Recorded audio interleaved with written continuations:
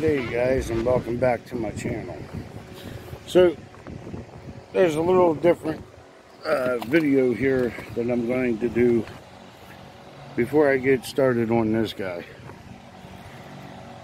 So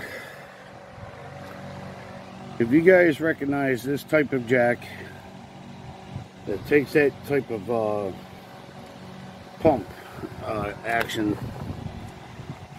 where this goes on here and does a teeter-totter, teeter-totter, and then it won't pull the plunger up no more.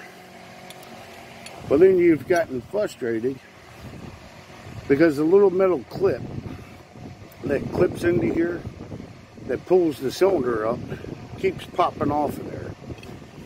Over a period of time, it gets worn down or it stretches, loses its strength, and um, well then you'll just keep fighting it. You'll lose it, then you'll find it again, and then the jack just sits there, gets nothing done. So I'm going to show you how I'm going to permanently fix this to where it doesn't happen again. And then when this part wears down, then I'm going to cut it off and I'm going to weld another one on it. So what I'm going to do, I'm going to file this down and get the grease off of it. I'm going to file down this nut. This nut right here. Get all the rust and grease off of it. And I'm going to weld that son of a bitch right on the top of there. Then I'm going to run this heavy duty bolt through it and that's going to take care of everything. So, I got plenty of clearance inside there. It'll replicate what the jack is supposed to do. And that should resolve our problem of that piece of junk metal tab from popping off of there. So the other thing that causes it is this little tip right here, this edge.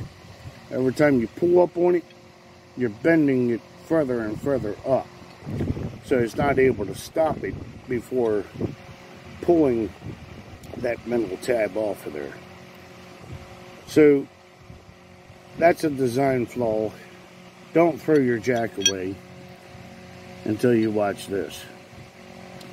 I'll show you that it's going to be fully functional because then we're going to use it to jack this up. I'm getting tired of that scissor jack. That dang old thing's only good for the front end of that uh, Polaris bike. It ain't good for trying to jack up the rear of this. I'm getting tired of that thing falling on me and having problems. So we're going to fix this. A permanent fix. And then you guys are going to give me some likes and subscribes and you guys going to thank me for this one. So hang tight. I'm going to set up the hyper speed on this so you guys can watch the progress in action. So hold tight.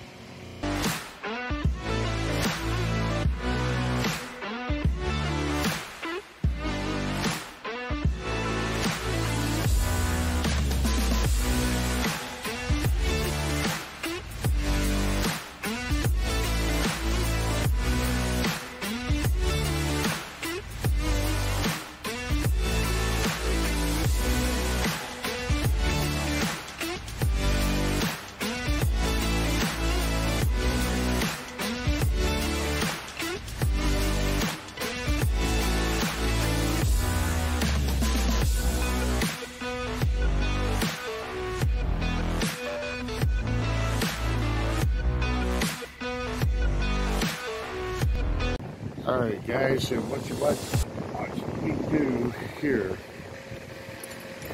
is take it apart. Now you can see. I welded that nut on there.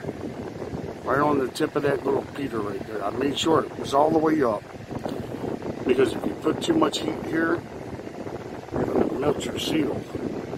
So I put it all the way up, did quick tacks, Went over to this side, did quick tacks. You want your nut to stay straight this way, so the hole goes through here. So it's lined up with this. So now, all it needs to be done is you put that on.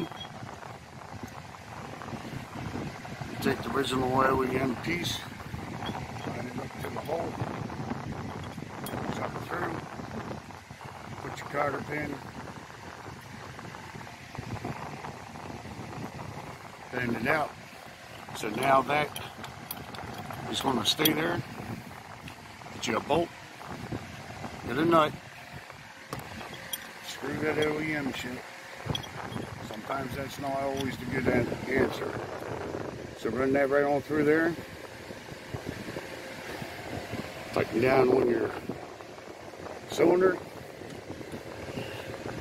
And away she goes. You can hit as hard as you want.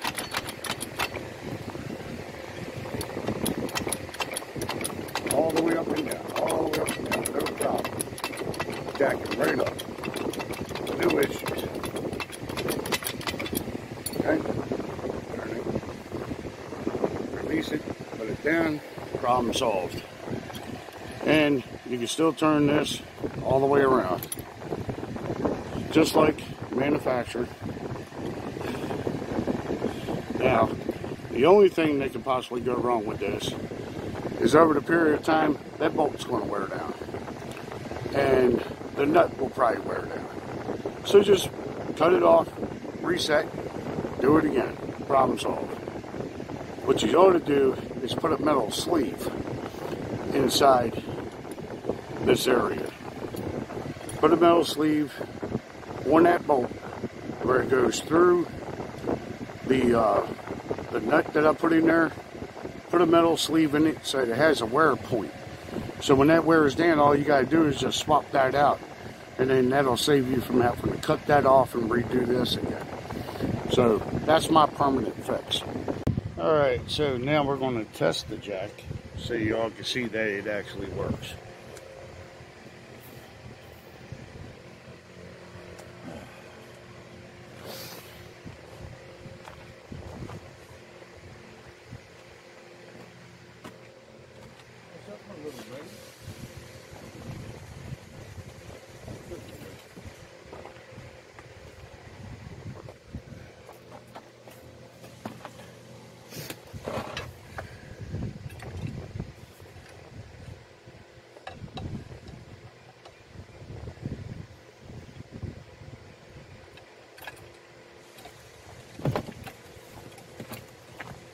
Okay, so the camera's going to start going up. it's resting up against the back of the buggy. So it's going to get past a certain point and then it's going to drop. So this way you can see it's actually working.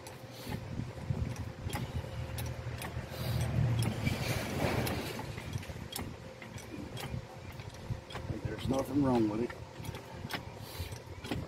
my method that actually worked. So I hope you guys enjoy and hope you like it. Hit like and subscribe. And as always, thank you for watching. See you next time.